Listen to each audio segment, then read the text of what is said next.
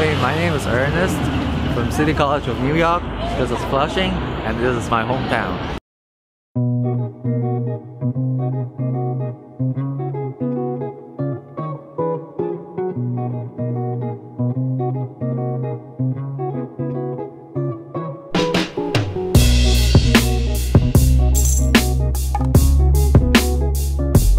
So me and my family come to Sun Wang for um, breakfast and dinner.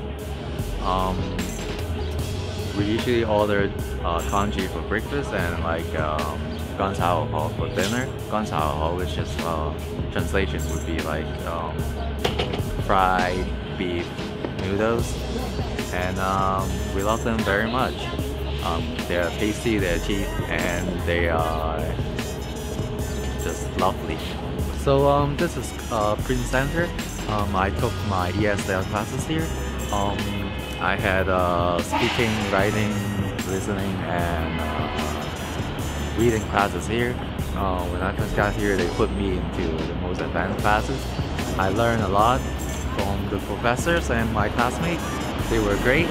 Um, but uh, outside class, um, what I learned From is uh, from the TV shows and also talking with friends. There, there are there are another way to learn the language. They built this mall because uh, there's a luxury apartment around, and then this mall is developed by the same developer. Um, so there's been a lot of growth around Flushing, around this area. They're trying to modernize the area. Um, and this is a very modern mall. Um, they have everything. This mall is like five story, um, and uh, they have electronics, they have clothing, and they have some foods around here too. Um, so they have a variety of things. So I come here often for like lots of stuff. My family moved here um, like a while ago when Hong Kong returned to China and um, since then they've been living here.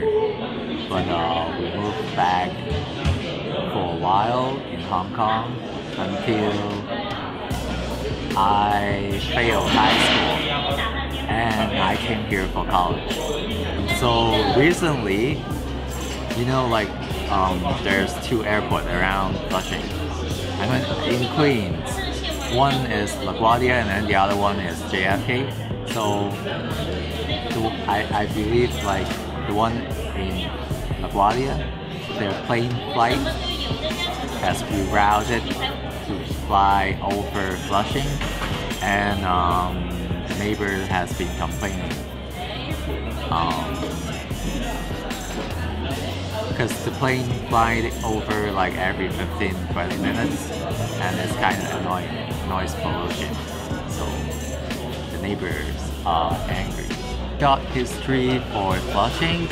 Um, it used to be a strongly um, Korean-based community, but um, over time, more Chinese came in, and uh, right now we have a lot of Chinese and mixed with Koreans, and uh, Flushing became became the second Chinatown in uh, NYC. My parents moved to Flushing because Flushing is one of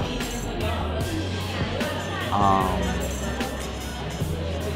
I mean there's not too much Chinatown on the East Coast. There's one in Boston and Philly and in Flushing, Flushing is part of NYC and everyone loves New York City. So at first I don't like this place. I don't like Flushing. Like compared to Hong Kong. Because Hong Kong is more like tidy. When I came here I saw like people speeding on the street and like littering. I was like, damn, why are you doing that? So it's kind of awkward to me at first. But get used to it. I've been in Flushing for the past five years, six years maybe. So Flushing is kind of like a familiar place for me. It's my first to go if you're going for Asian food and some Asian style goods like um, like a Hello Kitty or stuff. Yeah, and also drinks too, bubble tea. So in Flushing, the demographic um, it used to be has a lot of uh, Mandarin people. They're usually from uh, Taiwan. Um, and then after that, it's from Fujian. But uh, recently, more people from uh, Guangzhou and Hong Kong came here. So, because I hear a lot of people speaking Cantonese, and my uh, first language is Cantonese too. So I was like, wow, from the same place. And then it feels interesting to see people like around finally speak your home language.